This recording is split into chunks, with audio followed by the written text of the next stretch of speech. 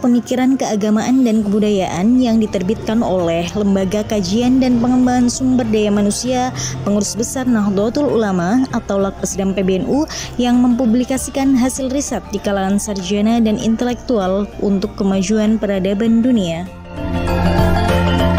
Jadi uh, itu lahir, saya lupa tahunnya secara persis, tapi kalau tidak salah itu tahun 1995 atau 96.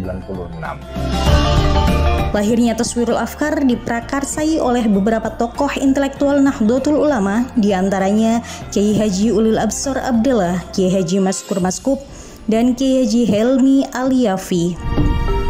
Saya, saya lupa persisnya orang-orang pertama kali yang menggagas ini, tapi saya memang termasuk yang membidani lahirnya jurnal ini. Nah, Taswirul Afkar itu dulu semacam forum diskusi para kiai-kiai, para aktivis NU pada tahun 20-an ya, di Surabaya itu. Sebelum lahirnya NU ya. Nah, kita ingin mengenang sejarah itu dengan menerbitkan jurnal menggunakan nama Taswirul Afkar. Dan namanya memang cocok kan. Dan bagus juga Afkar itu sebagai uh, ikonnya, terus taswir itu agak kecil gitu ya.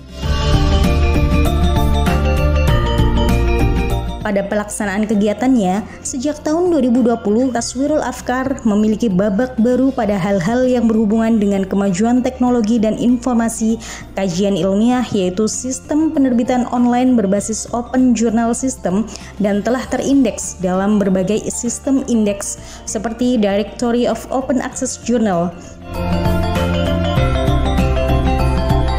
Perjalanan Afkar, Taswirul Afkar sejak lahirnya sampai saat ini yang masih eksis terbit selama 25 tahun. Ini suatu hal yang sangat luar biasa. Saya lihat dari perjalanan Lakpesdam yang berdiri tahun 1985 hingga tahun 2021 ini dua program uh, di antaranya adalah uh, penerbitan Taswirul Afkar dan perpustakaan. Ini adalah dua, dua apa semacam brand lah ya brand Lakpesdam yang sampai saat ini masih eksis. Forum Afkar ini menjadi tradisi baru yang sangat positif dan konstruktif dalam membangun dan mensolidkan gagasan-gagasan dalam berbagai disiplin ilmu untuk menemukan kebaruan pemikiran yang otentik dan unik dengan cara pandang yang komprehensif dan lintas batas saya kira.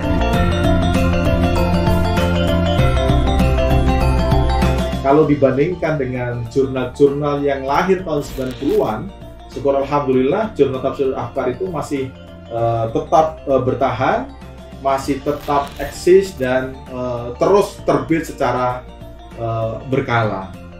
Mungkin situasinya sekarang berubah ya kalau jurnal tafsirul afkar bisa saya katakan ini adalah jurnal yang memang sengaja dibuat uh, pada masa itu murni untuk pergulatan intelektual. Selama sekian puluh tahun jurnal tafsirul afkar banyak orang yang sudah uh, merasakan uh, manfaat membaca jurnal tafsirul afkar bahkan jurnal tafsirul afkar itu selalu dijadikan uh, referensi banyak peneliti baik peneliti asing maupun peneliti Indonesia kalau dia mau melihat uh, perkembangan intelektualisme di lingkungan uh, Nahdlatul Ulama.